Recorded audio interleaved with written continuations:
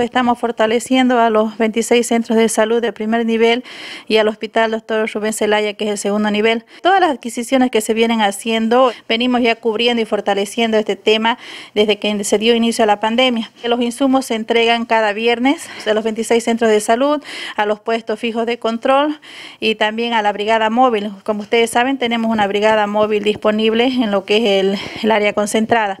Y lo que respecta al hospital, siempre estamos entregando materiales de bioseguridad.